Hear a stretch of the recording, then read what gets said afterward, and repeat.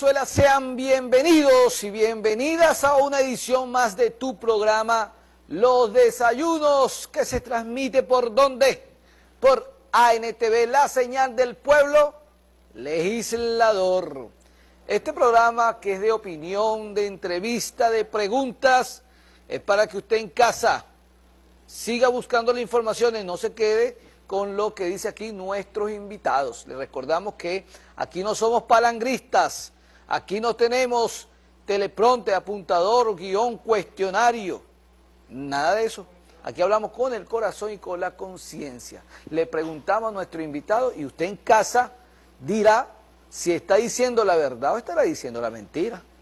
Esto es, pudiéramos decir, este es el programa de la interpelación de nuestros invitados. Y siempre digo, este es el programa que deja hablar a los invitados tranquilamente. Lo digo porque, bueno, estos días fue un programa de televisión hablando del tema de los símbolos. Me dijeron que era 10 minutos y de repente me cortaron 5 minutos y no me dejaron hablar más cuando yo empecé a decir la razón, la defensa de los símbolos, de por qué defender a Bolívar, a nuestros pueblos originarios y a nuestros afrodescendientes. Y bueno, hablando de afrodescendientes, hoy tenemos al invitado del día de hoy, Vladimir Sosa Sarabia, presidente de la Cinemateca Nacional. Vaya saludo a nuestro ministro de la Cultura, mi gran pana Ernesto Villegas. Bueno, vamos a hablar de un aniversario más que va a cumplir la Cinemateca Nacional y vamos a ver las políticas en estos momentos para seguir desarrollando el apoyo a la cultura del cine. Bienvenido, Vladimir. Muchas Vladimir, nos conocemos de años. Así es. Tienes la misma edad que yo, estudiamos en el mismo liceo. Yo siempre lo digo, Vladimir, para mí un, a mucha honra haber estudiado en el Liceo Gran Colombia. Igualmente. Rompimos un mito, eh, aquellos que decían que los que estudiaban en el Liceo Gran Colombia, de allá de la parroquia de Santa Rosalía, del cementerio, no podían estudiar en la Universidad Central de Venezuela. Mira, de la Gran Colombia directamente revoltoso, salí revoltoso en la Universidad Central de Venezuela, Giuseppe me quería expulsar, el rector de la, Universidad Central. Entonces, bueno, nos conocemos de años, Vladimir, un muchacho que, bueno, siempre te veíamos en las tablas ahí de, de, los escenarios del Liceo Gran Colombia, en la tarima. Y bueno, la cultura siempre te atrapó y aquí estás hoy en día, que íbamos a saber, el tiempo de Dios perfecto. Hoy presidente de la Cinemateca nacional. Bienvenido a nuestro programa, Vladimir. Muchas gracias, Alexander. Y bueno, sí, nada, de la Gran Colombia, imagínate tú, tantos cuentos, tantas anécdotas, eh, años duros, la lucha estudiantil de los años 90, que es un cuento que hay que echar. Yo siempre, yo siempre digo, se habla de los, de, los, de, los, de los movimientos estudiantiles de los 60, 70, después de los 80, pero de los 90, que, que reactiva el comandante Chávez luego de su aparición el 4, ese 4 de febrero glorioso. Y ahí pues muchos nos sentimos convocados y nos incorporamos a bueno, al movimiento popular, al movimiento revolucionario. Tomamos la Gran Colombia, una oportunidad. Hay unos, muchachos ahí, veíamos a, esos, a esos líderes de nosotros, de la Universidad Central de Venezuela, poniéndose su capucha, protestando por la justicia. Claro. El pasaje estudiantil, el, alto índice de la vida de los gobiernos de la Cuarta República, bueno, remitía a la Policía Metropolitana contra ellos. Y nosotros, muchachos de sexto grado, primer año, segundo año, bueno, tomamos la Gran Colombia ahí, estamos hablando aquí Caracas, estamos hablando aquí en Caracas. Pero bueno, ese no es el tema, Vladimir, pero bueno, lo que sabemos es que somos esa gente de los sectores populares, de la lucha, de peleando por la justicia, la igualdad, y bueno, aquí estamos. Seguramente hoy en día, como presidente de la Cinemateca Nacional, yo en este espacio, de, agradecido a este, a este programa, y bueno, vicepresidente del Consejo Municipal de Caracas, que íbamos a pensar, pues, pero es la lucha, es la, es la justicia. Presidente de la Cinemateca, ¿qué se prepara? Bueno, cuando se, se fundó la Cinemateca, en su momento, cuando se fundó, qué hizo al inicio, la comparación de las políticas hoy en día de la Cinemateca, porque son dos momentos distintos. Bueno, lo que hizo la, Cuarta República en su momento, en los inicios, pero bueno, nosotros llegamos a espacios que ya han existido, porque bueno, hemos inaugurado espacios, inaugurados. Y en las reinauguraciones hemos transformado las políticas internas. ¿Qué nos puede decir respecto a este tema, Vladimir? Bueno, fíjate, la Cinemateca bueno, fue fundada en el año 1966, 4 de mayo, eh, por Margot Benacerraf, una de nuestras cineastas más importantes ganadora de un premio en el Festival de Cannes eh, con una película llamada Araya. Eh, una mujer Premio Nacional de Cine, importante todavía, está, está entre nosotros. Eh, y nace pues con la intención de llevar la cultura venezolana, la cultura cinematográfica eh, al pueblo venezolano, ¿no? La cultura cinematográfica venezolana y la cultura cinematográfica mundial. Eh, con una sala de cine ubicada ahí en el Museo de Bellas Artes, que es la histórica, mítica sala de cine eh, de la Cinemateca Nacional. Para los cineastas de este país es un, es un es como un templo esa, esa, esa sala. ¿no? Ahí vemos eh, esa imágenes de la, de la Cinemateca, exactamente. Así es, exacto. Está la, esa es la sala MBA. Por cierto, ahí nos, Nacional. nos, invitó hace un año y medio atrás eh, Aspurua, Aspurua, y bueno, vimos eh, este, este largometraje, pudiéramos decir, no corto, de la batalla de los puentes. La batalla de los ahí, puentes, ahí estuvo el compañero Freddy Bernal y varios eh, dirigentes nacionales. Entonces, bueno, este espacio. ¿Cuál fue la primera película que se presentó en la Cinemateca? Mira, ese 4 de mayo se presentó Barbarroja, una película de Akira Kurosawa, una película en ese momento, una, una, película prácticamente de estreno. Eh, cine ¿Venezolana? No, no, cine asiático. Ok. Eh, de Kurosawa, que además, bueno, Kurosawa después se convierte en uno de los hombres más importantes del cine del mundo, una referencia en el, en el mundo cinematográfico, eh, en, la historia del cine. Eh, bueno, pero te decía que en ese momento la, la, la idea, la cinemateca era eh, llevar la cultura cinematográfica al pueblo venezolano, poner al alcance del pueblo venezolano la, cultura del cine. Con el tiempo la cinemateca devino también positivamente en asumir la responsabilidad de la custodia del patrimonio fílmico, la custodia, la, custodia del patrimonio cinematográfico, eh, sobre todo venezolano. Entonces, en la cinemateca reposa todo el tesoro histórico, toda la memoria del cine de este país. Yo siempre digo que la cinemateca es al cine lo que la, lo que la biblioteca es al libro. Es un espacio de eh, de referencia, un espacio para la investigación, un espacio para eh, la preservación, la conservación y la restauración de nuestra memoria, que además nos pertenece a todo el pueblo, a todo el pueblo venezolano. Siempre también hago mucho énfasis en esto, Alexander, porque a veces parece que la que los archivos cinematográficos, que los archivos fílmicos solo son como para estar metidos allí en una bóveda y ahí escondidos y que bueno, nada más le pertenecen a, un sector, en este caso quizás al sector cinematográfico nada más, y, no es, y eso no es verdad. O sea, el patrimonio, la memoria cinematográfica de nuestro país nos pertenece a cada uno de los venezolanos, a cada uno de las venezolanas. Y eso es importante que lo que se, que es importantísimo que se sepa, porque pues, patrimonio que no se conoce, patrimonio que no se defiende. Se dice que un pueblo sin cultura es un pueblo sin vida. Y la cultura es muy amplia. La gente piensa que nada más el tocar tambor o hacer unas obras de teatro es muy amplio. no, la, cultura, la cultura trasciende las artes. Las artes es parte de la cultura, cómo no. Eh, la música, la literatura, el teatro, el cine, eso es parte de la cultura, es parte de lo que nosotros somos. Todo lo que se ha producido desde el punto de vista artístico en este país, desde punto de la creación en este país, pertenece y, nos pertenece y además nos representa nos identifica, es parte de nuestra identidad. Pero la cultura son una cantidad de cosas más allá de las artes. La cultura es, como, es qué, comemos, cómo comemos, cómo cocinamos, cómo nos enamoramos, cómo bailamos, cómo, eh, cómo nos vestimos. Todo eso es parte de la cultura, cómo hablamos. Esta imagen que estamos viendo ahí, unos, muchachos que están ahí son estudiantes, este, son trabajadores de ahí, están haciendo pasantía, este, ¿sirve todo eso para la cinemateca también? Sí, fíjate, esas imágenes que veíamos allí eran parte de un taller. Ok. La Cinemateca tiene una política de formación muy agresiva. Eh, y lo digo, utilizo, y utilizo el término además a propósito, ¿no? Eh, cuando, cuando hablo eh, de agresividad me refiero a, a el hecho de que la cultura cinematográfica que nos llega afuera es igualmente agresiva. Entonces nosotros tenemos que tener, diseñar políticas, diseñar estrategias para hacerle frente a eso. En ese sentido, la Cinemateca tiene un eh, programa de formación muy, muy, muy agresivo también, tratando de llegar a todos los niveles posibles desde dos puntos de vista. Uno, el cómo hacer cine, cómo se hace cine, cómo se produce, cómo se hace la cámara, cómo se maquilla, etcétera, etcétera. Pero también cómo se ve cine porque el cine hay una manera de verlo. Hollywood nos tiene desde hace 100 años, más de 100 años, formándonos para ver un solo tipo de cine. Y nosotros tenemos una responsabilidad, mostrarle a la gente que el cine no es uno solo, no es solo el cine hollywoodense, sino que el cine es tan infinito como es el mundo mismo. Vladimir, vamos a una pausa, vamos a una pregunta en el aire.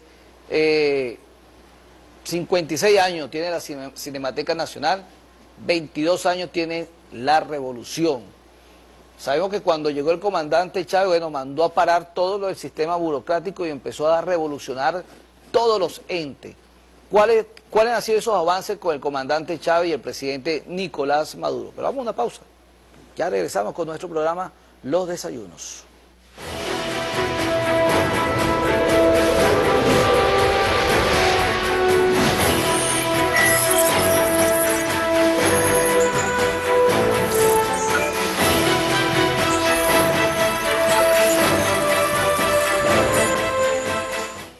Caracas amaneció con lluvia, pero bueno, ya lo veníamos anunciando, por eso estamos aquí con nuestras chaquetas y bueno, siempre estamos nosotros resguardándonos de la lluvia.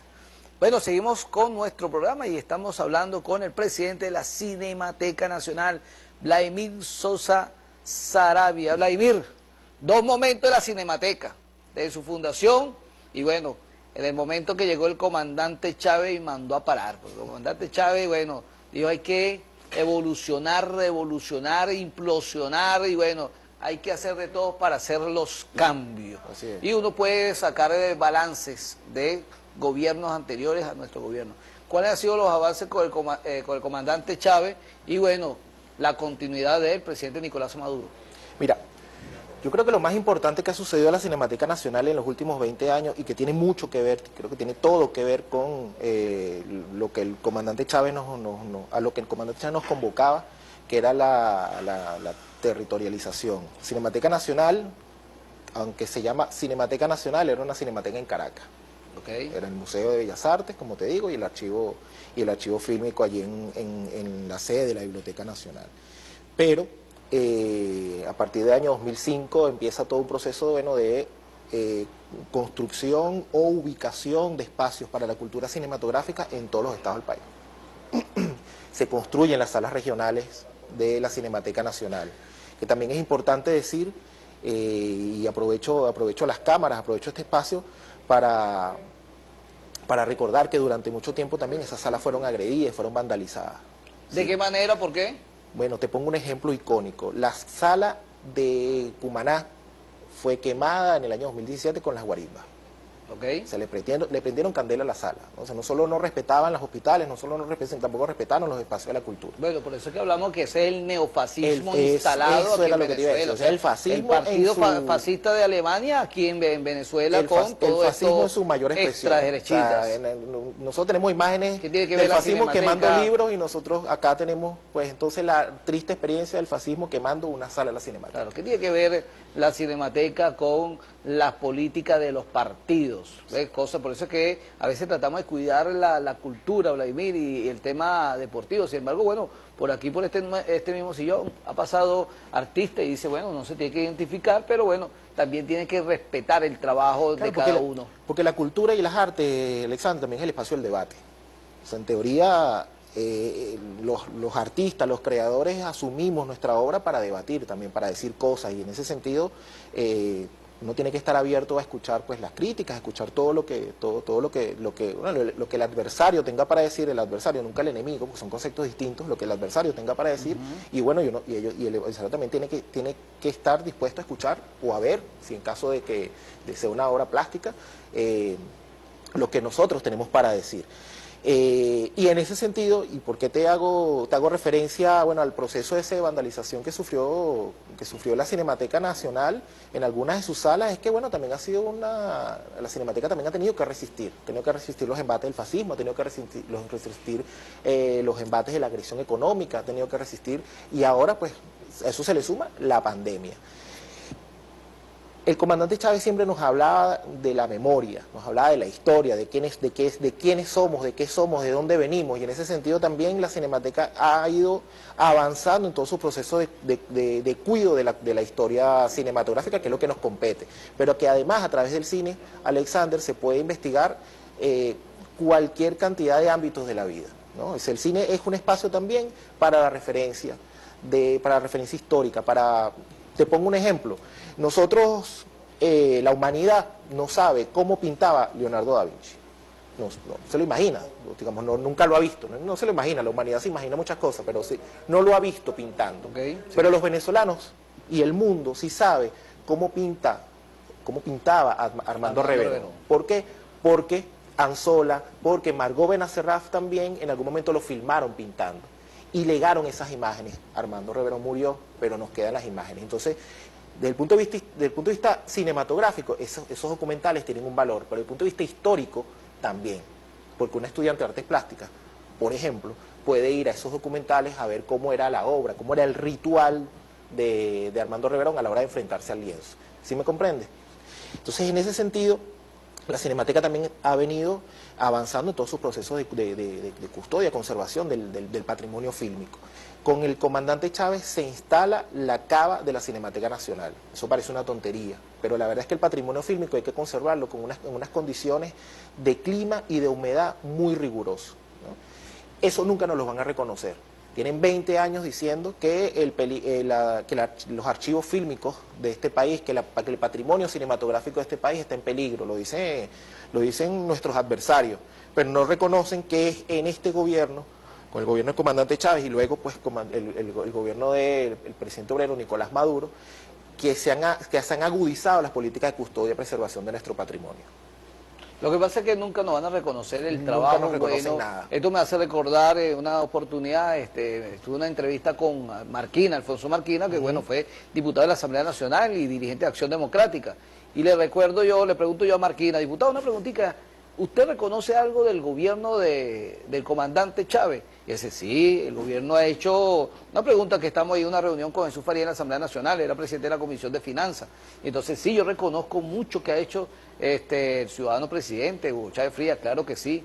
Pero entonces, ¿por qué en los medios de comunicación usted ataca tanto al comandante Chávez? Porque, bueno, somos políticos y los políticos, como no somos del mismo partido, tengo que atacarlo. Pero sí ha hecho bastante. Entonces, es la hipocresía, pues, es la hipocresía de lo que ellos dicen que, bueno, reconocen, pero agarran un medio de comunicación como este, y bueno, por eso es que hablamos nosotros del palangrismo y que este, los que nos escuchan más allá después de cada quien en, su, en sus casas, bueno, seguir buscando la información, que no se quede con lo que nosotros emitimos de, este espacio. Entonces, bueno, eso A mí me pasa igual, fíjate, yo hay una cosa que yo le reconozco a la oposición todos los días, Alexander. Yo a la oposición venezolana le reconozco que me muestre todos los días los dientes y me haga ver todos los días que yo no me quiero parecer a esa gente que me haga ver todos los días que yo no quiero prenderle candela a una cinemateca, que me haga ver todos los días que yo no quiero cerrar una calle para que no pase una ambulancia, que yo no quiero poner una guaya para que, para que un motorizado no se degolle. Yo no me quiero parecer a esa gente. Como yo no me quiero parecer a esa gente, yo les agradezco que ellos todos los días nos muestren quiénes son, para uno poder verse en ese, entre comillas, en ese antiespejo, voy a decirlo así para no acercarnos nunca, para no, para no permitir que, mi corazón se contamine ni que mi mente se, se distraiga y no parecerme a esa gente. Eso yo se lo agradezco a la oposición venezolana. Por eso que el comandante Chávez siempre le decía a la oposición, eleven la política, suban la política. Y bueno, esto me hace recordarme a María Corina Machado en su momento de, en el 2011, sí, 2011, cuando el presidente Chávez iba a hacer la entrega del informe de gestión 2012. Y bueno, vemos a través de las redes y le dice María Corina, usted es un ladrón porque tal, vez y el comandante Chávez, pero bueno, en un momento, pero que la dejó, como se dice, en ridículo, porque no tiene otro nombre, y le dijo, Águila no caza mosca, señora diputada, con mucho respeto. no voy a gastar pólvora en Zamuro. Lo que le dio fue, vas a agarrar este espacio para esto, sube, hay que, hay que subir los niveles políticos en la discusión.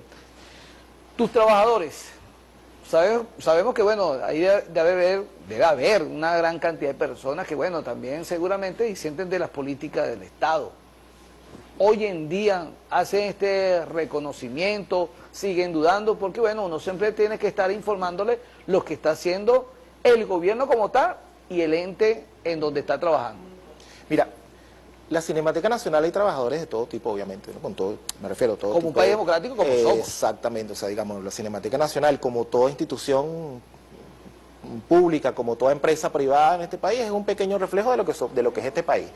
O digamos, yo siempre digo que en todo espacio hay alguien que, todo espacio en Caracas, por ejemplo, todo espacio de trabajo en Caracas, a lo mejor hay alguien que, que, vino de los Andes, o hay alguien que es hijo de alguien que vino de Oriente, ¿no? Y así, y eso somos nosotros en, ese sentido la Cinemática Nacional pues es exactamente igual, ahí hay todo tipo de pensamiento. Lo que yo sí tengo que reconocerle a los trabajadores de la Cinemateca Nacional, absolutamente todos los trabajadores de la Cinemateca Nacional, es su compromiso con la, con la memoria y su compromiso con el patrimonio cinematográfico. Eh, ahí ese, ese equipo no se desvía y ese equipo yo le reconozco que no, que no cae en miseria, que no cae, en la, en la, que no cae en, la miseria de sabotear el trabajo, porque sabe que es sabotear, convencido que es sabotear, que, que, que sabe que sabotear o entorpecer el trabajo de la Cinemateca Nacional es atentar contra el patrimonio cinematográfico, contra el patrimonio fílmico, contra la memoria de este país.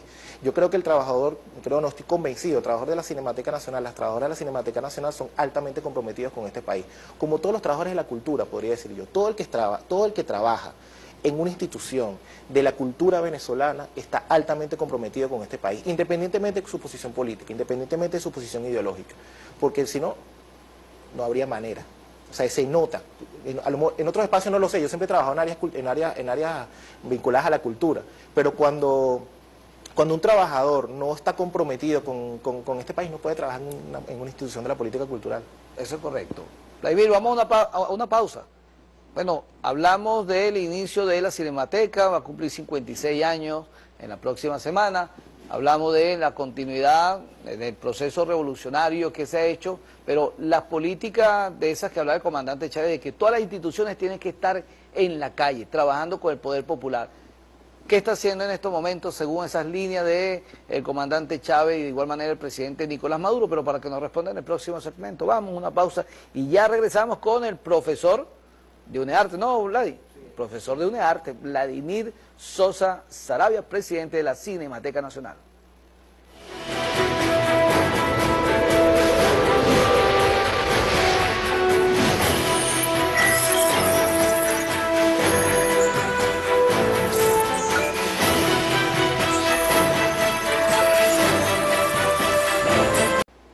Seguimos con nuestro programa Los Desayunos y estamos hablando hoy con el presidente de la Cinemateca Nacional, la cultura. Un pueblo sin cultura es un pueblo sin vida. Bueno, estamos hablando de este espacio importante que se recoge la memoria eh, de lo que tiene que ver con el cine venezolano y también cine extranjero. Bueno, nos decía aquí nuestro presidente de la Cinemateca. Vladimir, bueno, pregunta que dejamos en el aire. Ya hablamos del inicio de la fundación, son 56 años, 22 años de la revolución, pero bueno, ¿cuál es el proyecto en estos momentos? ¿Cuáles son las políticas? Porque bueno, sabemos que nos agarró dos años de pandemia, ¿no? Entonces en dos años de pandemia uno quedó así como que sitiado, o sea, eh, ¿qué, ¿qué hago? ¿Qué no hago? Pero en estos dos años nos dio para reflexionar mucho en, nuestra, en nuestros hogares para cómo poder evolucionar dentro del espacio en donde estoy en estos momentos comandando, estoy hablando generalizado, ¿ve? ¿Qué se va a hacer este, de esta política de calle que siempre exigía y pedía el comandante Chávez de igual manera lo pide el presidente Nicolás Maduro? Así es, bueno, fíjate, tal cual como tú lo acabas de decir, venimos de dos años encerrados. Yo llego a la Cinemateca menos de un mes antes de la pandemia, de que llegara la pandemia a Venezuela. Si yo llegué a la Cinemateca y a los veintipiquito días, cuarentena, todo el mundo en su casa. Y bueno. O sea que no debe estar cansado entonces. No, renovaste esas baterías. No, porque no nos quedamos en la casa. Ah, ok. Eh, y nada, ahí, bueno, nos planteamos un reto, bueno, ¿cómo hacer para que la cinemateca no desaparezca del, del imaginario, no? Es decir, pues nosotros obviamente teníamos que cerrar la sala de cine, pero no podíamos desaparecernos, no podíamos encerrarnos dos años a esperar que la pandemia pasara. Así que nada, nos lanzamos a lo virtual, nos, dedicamos a, la formación, a tratar de acompañar al pueblo venezolano, al pueblo, al pueblo que además estaba pues también eh, en una situación de, cuarentena a través de las diferentes eh, modalidades virtuales. Pero ya la pandemia, gracias bueno, a, la política y a la estrategia que se, que se, que se implementó en el país, pues hemos, hemos podido eh, navegarla, ¿no? Y, aquí estamos dos años después. Así que este ha sido el año de volver a la calle. Cinemateca tiene una... Cinemateca tiene lo que llamamos el Cinemóvil, que es un, un equipo técnico y un equipo humano que se ocupa de llevar, sala, de llevar la sala de cine a las comunidades. Por ejemplo, la semana pasada estuvimos en el marco de la celebración de los, de, febre, de los febreros y abriles eh, en una comunidad en Katia, llevando el documental Crónicas, eh, claves perdón, de, una, de una masacre de Ángel Palacio.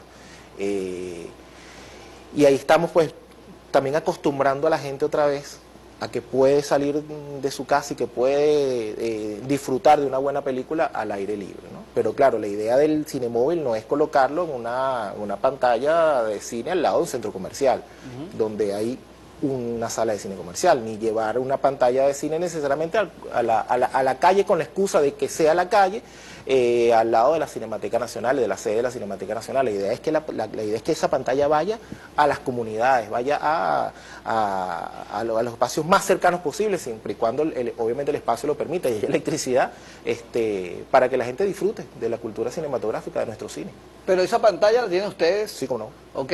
Si yo soy consejo comunal, ¿qué tendría que hacer para solicitar? Y bueno, este, tendría que yo decirle a ustedes el documental que quiero que, que el espacio, ustedes le dicen, bueno, mira, estos son los documentales que tenemos nosotros a la disposición. ¿Cómo sería ese, ese mecanismo? Mira, lo primero es hacer el contacto. ¿no? Se puede comunicarse con nosotros a través de cualquiera de nuestras redes sociales o incluso escribiendo un correo a vsosasarabia.gmail.com. Vamos a repetirlo nuevamente para los que se quieren comunicar con Vladimir Sosa Sarabia. Vía directa, ¿sería correo? V Sosa Sarabia. V de pequeña S y B alta al final, arroba eh, gmail.com. Escriben por allí y dicen, mira, solicitamos la, el servicio del cine móvil o de la, pantalla, no sé qué, para tal día, para tal comunidad. Obviamente nosotros vemos la disponibilidad de la pantalla ese día, porque a veces la pantalla, para el día que la solicitan, pues la pantalla está en otro lugar. Claro. Eh, hay, hay, comunidades que hacen su propuesta. Nos gustaría una película infantil, nos gustaría una película con estas características. ¿Qué película, película infantil este, que bueno, nosotros estamos en contra de esos eh, héroes, eh, ¿cómo se dice? Inventados por eh, Marvel y, este, y no recuerdo la otra, Marvel y todo ello, este, bueno, son competencias, espacio. Entonces, bueno, crean estos héroes que son héroes nada más para ellos ficticios, pero bueno, prácticamente dominan parte del mundo con, sí, su, no, con su, cine, no. hay una, una, realidad. Bueno, Pero, cuando se habla del imperio hollywoodense no es solo porque el imperio hollywoodense esté dentro del imperio norteamericano, Hollywood es. es. un imperio en sí mismo así y obviamente es. posiciona sus referentes y sus símbolos. Lo que es la, de los símbolos la, hace poco. La, la industria cinema, cinematográfica que tiene Ajá. que ver con todo esto, bueno, y la domina y dominan parte de este, de, de este tema. Así pero, pero, bueno, pero sí ¿qué, ¿qué podemos presentar? Pero sí alternativas, fíjate. Eh, ahí, ahí eh, es un cine infantil eh, venezolano, latinoamericano, del mundo, ¿no? Nosotros, a nosotros nos va muy bien, a la gente le gusta mucho eh, una película de un director venezolano llamado Álvaro Cáceres que se llama Misión H2O. Una película maravillosa, un dibujo animado. Recientemente Viveca Baís acaba de estrenar una película que se llama Caporito, el guardián de la montaña, que Caporito es un, es un, es un oso frontino. Uh -huh. O sea, fíjate, te hablo de referentes sí. simbólicos venezolanos, ¿no? Eh, hay película, hay una película eh, cubana que gusta mucho, cubano, que se llama Meñique. Meñique. Eh, que también la gente y la que disfruta. deja un mensaje, deja así un mensaje. Es, así es, y la gente la disfruta de las películas que estamos hablando ahorita. Hay una que se llama eh, Pequeños Héroes. Pequeños como yo. Ajá. Pequeños Héroes, que es argentino-venezolana también, con la participación allí de la Villa del Cine, eh, que habla, bueno, un poco también de, nuestra, de nuestras luchas de, de, independencia, está, es un dibujo animado, estaba representado allí el libertador Simón Bolívar, con unos, bueno, no se los voy a contar.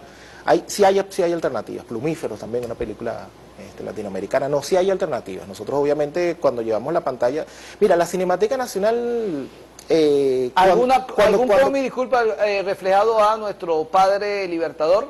Pequeños héroes. Pequeños Ahí aparece el libertador, cómo no. Eh, te decía, la Cinemateca Nacional busca presentar ese otro cine que no se, que no se proyecta en las salas comerciales. Sí, las salas comerciales están fundamentalmente tomadas por Hollywood. Digamos, eso es así, es un, eso es un esquema. ¿no? Eh, y, la, y, la, intención nuestra es que, repito, que la gente, que nuestros, los espectadores de nuestra, los que ven nuestras películas, bien sea en la sala o en las comunidades, o donde sea que vaya a la Cinemateca Nacional, vea que hay otra cosa, que hay otro cine, que el cine no es solo el cine hollywoodense. Ese es como, bueno, en, en eso se nos van los días. Y, eh, y a veces también pasa, te, te, decía, digamos, volviendo al tema de las comunidades, que la comunidad ya sabe lo que quiere. ¿no? A, veces también, a veces también hay que tener como un poco de cuidado de, de creer, de creer que nosotros desde eh, nuestros espacios, desde el ladrillito que nos toca, digamos, que nos toca, que nos, que nos toca ocupar en, la, en la historia, creemos o podemos creer qué es lo que necesita la gente, qué es lo que necesita una comunidad específica. Y bueno, una comunidad de Katia a lo mejor no necesita, no tiene las mismas necesidades que la comunidad de Petare.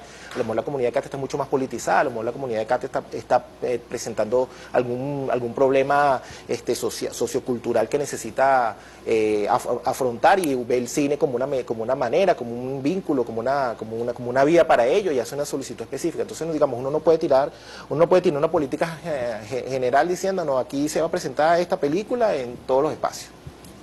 Bien, Guarabato está preguntando aquí nuestro coordinador de piso que si, si uno solicita, es lo que me está informando aquí por teléfono, y quiere ver, bueno, imagínate la infancia de, ¿no? Rintintín, Cantinfla, Tintán, este, también pueden pasar eso. Claro que sí. Que bueno, es la, comedia, la comedia mexicana, pero bueno, es muy bonita. Porque por cierto, bueno, Cantinflas siempre dejaba un mensaje y, hoy en día en la parte política, bueno, siempre agarramos ya Cantinflas cuando él explica el tema de la burocracia, que dentro de su Cantinflas decía ustedes saben tanto que no saben nada y son unos burócratas que bueno, que el pueblo sigue esperando una respuesta, así como también las películas de, de Chaplin.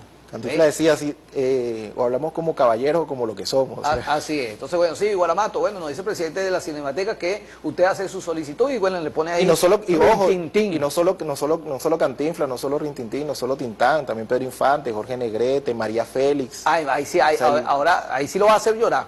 Pedro Infante, Jorge Negrete, Javier Solí, bueno, y Marco Antonio Solí, bueno, imagínate, ahí sí. imagínate, pero, bueno. Vamos a una pausa y ya regresamos con nuestro presidente de la Cinemateca Nacional, Vladimir Sosa Sarabia.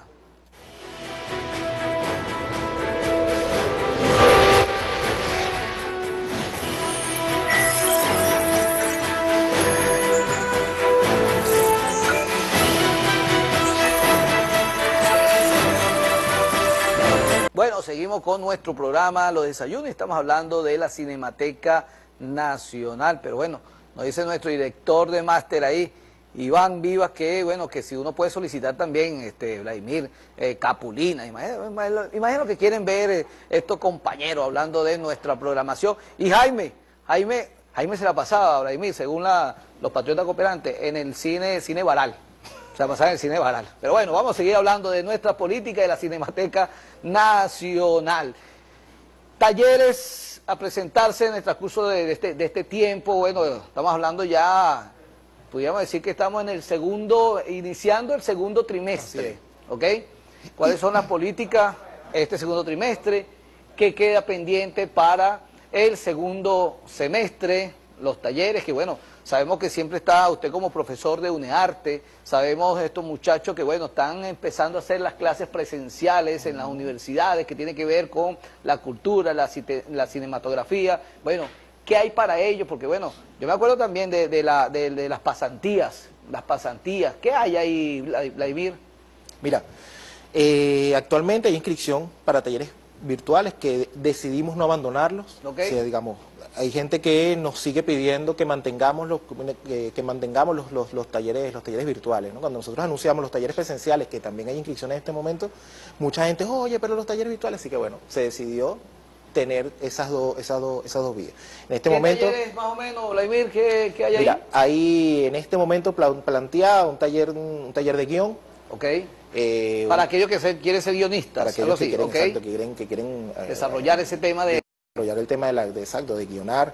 Eh, hay un taller de documental también, eh, que, está, ¿Cómo es esto de documentales? está preparado. ¿Perdón? ¿Cómo es esto de documentales? Bueno, ¿cómo hacer un documental? O sea, ahí llega, llega gente que tiene diferentes, diferentes anhelos. A lo mejor alguien quiere hacer un documental sobre, sobre el béisbol, otra gente quiere hacer un documental sobre, sobre cómo funciona un canal de televisión. Ahí llega cualquier, cualquier cantidad de ideas, ¿no?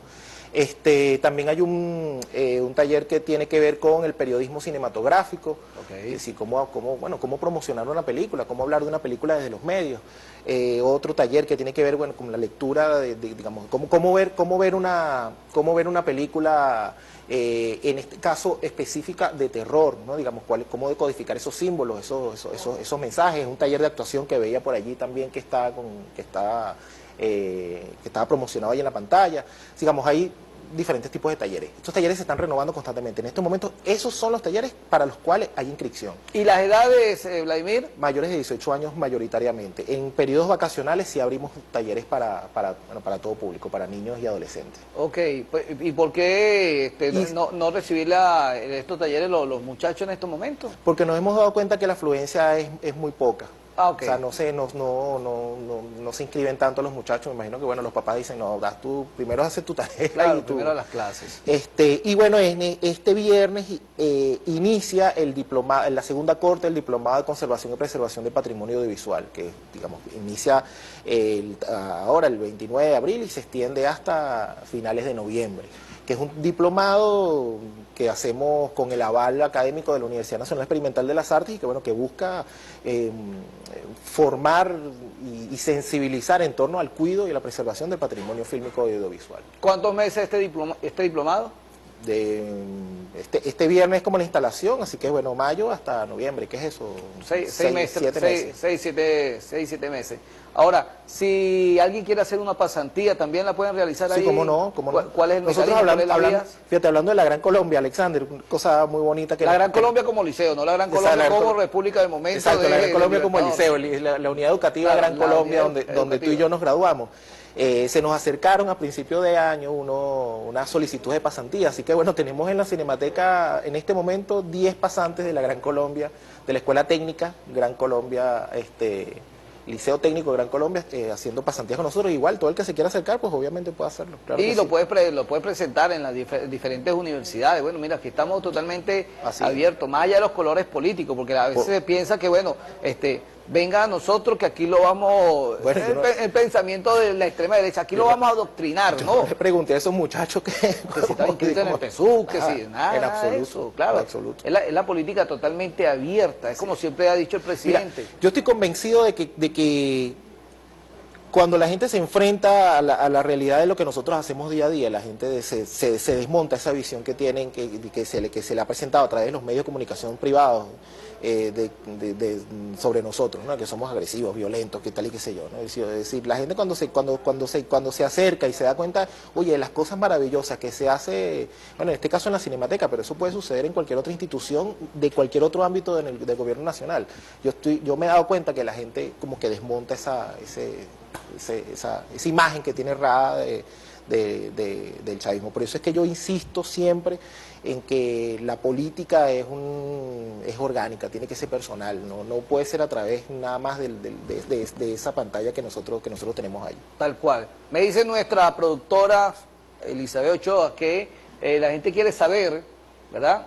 Eh, de, estos, eh, de estos talleres, de estos cursos que va a realizar, por dónde, por dónde nos comunicamos, por dónde podemos buscar la información. Mira, constantemente se publican a través de nuestras redes sociales. Arroba Cinemateca BZLA en Instagram, arroba Cinemateca BZL en Twitter y Cinemateca Nacional en Facebook. Vamos a repetirlo nuevamente, Vladimir, porque bueno, estamos allá en casa para que la gente anote, quiere recibir estos cursos, estos talleres que son virtuales, ¿no? Me dijiste. Virtuales y presenciales. O sea, hay unos que son virtuales y otros que son Ahí lo dice. Repetimos nuestras redes. En el Twitter, arroba Cinemateca BZL.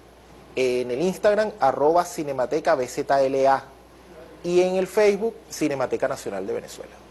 Dijiste la información, de repente se me pareció los amigos de Zurda Conducta, ZK, Zurda Conducta, y Jan Francis, saludos a Jan Francis, Ricardo, Ricardo que es presidente de nuestro... De verdad, un saludo a Ricardo que está, que, que está presidiendo el AN, ANTV. ANTV cumpliendo las instrucciones del presidente Nicolás Maduro. Aquí Así somos soldados y disciplinados.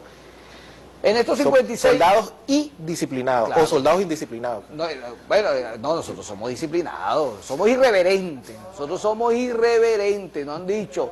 La irreverencia es un modelo, es un camino para decir la verdad e ir construyendo para seguir avanzando. Era-. Nosotros somos irreverentes, Vladimir, fu- fui- fuimos irreverentes, yo sigo siendo irreverente dentro del partido, dentro del partido yo digo mis cosas, pero dentro del partido, lo decimos aquí, para seguir avanzando. Cumple 56 años la Cinemateca Nacional. Siempre sabemos que cada vez que hay un aniversario de una institución, bueno, hay una programación. Así es. ¿Qué hay en, esto, en estos días a venir? ¿Cuándo arrancamos? ¿Cuándo terminamos? ¿Con qué terminamos? Y bueno, ¿qué autoridades, qué, qué invitados especiales van a estar ahí en esas Mira, actividades? Eh, estamos preparando una programación de clásicos del cine venezolano. Eh, pero nosotros hemos, estamos haciendo un ejercicio de curaduría porque queremos, queremos colocar en la sala, en la sala de la, de la Cinemateca Nacional, en las salas de la Cinemateca Nacional, en las pantallas de la Cinemateca Nacional, las películas venezolanas que por alguna razón u otra en algún momento pues llegaron al humor de, de proyectarse. La Cinemateca siempre hace referencia a, te pongo el ejemplo, tres películas que son icónicas y significativas de nuestra cultura el cinematográfica. Pez que fuma. El pez que fuma. Araya y Jericó de Luis Alberto Lamata. Esas películas siempre están en nuestra pantalla, pero ellos hicieron otras cosas. Román Chalbó, Luis Alberto Lamata, Margot Benacerrap, hicieron otras, otras, otras obras. Entonces, por ejemplo, estamos buscando esas otras alternativas de nuestros cineastas. ¿no? Eh, por ejemplo, Román Chalbó, vamos a proyectar La Oveja Negra, película importante, una película maravillosa también, eh, digamos, ícono de nuestra, de nuestra cultura cinematográfica. Eh, en el caso de Luis Alberto la Mata, eh, Desnudo con Naranja, y así sucesivamente. Y así como esa, pues, imagínate... Eh, Cangrejo, Macu, ¿quién no vio Macu?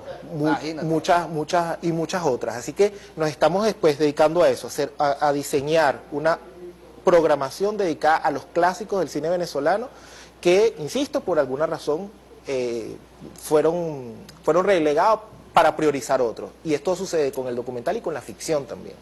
Ok, bueno, Vladimir, ya nos queda 30 segundos para despedir nuestro programa porque todo lo que comienza... Tiene que acabar. Tiene que, tiene que terminar.